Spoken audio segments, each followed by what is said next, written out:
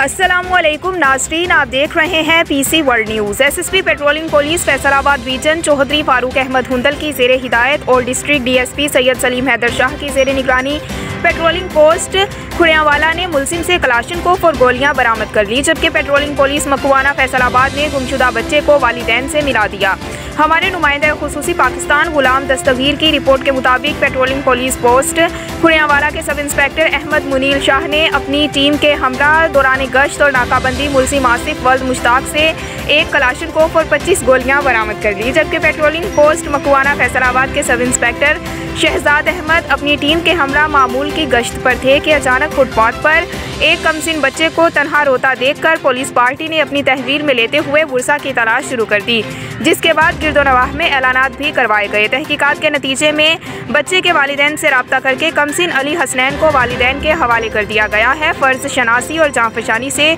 Duty sir अंजाम देने पर S S P Punjab highway patrol Faisalabad region Chaudhry Farooq Ahmad ने सराहते हुए पेट्रोलिंग पोस्ट, खुड़ियामाला और मकवाना की टीम्स को इनामत और तारीफ़ी असनाद देने का ऐलान किया।